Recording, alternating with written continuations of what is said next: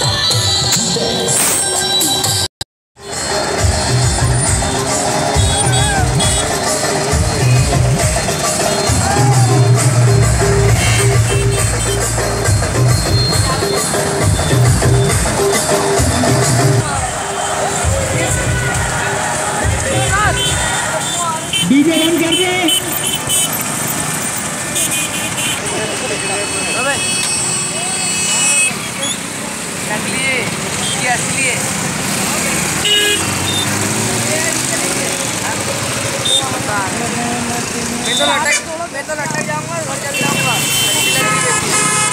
अब gate truck